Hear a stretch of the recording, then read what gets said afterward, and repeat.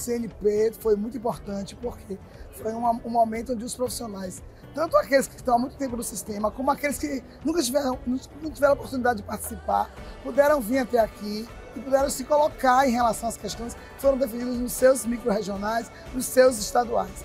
Então, eu acho que a grande questão é que a gente tem muitas propostas, é preciso abrir um pouco a visão de pensar no conselho para dentro e pensar no conselho fora, o conselho para o país.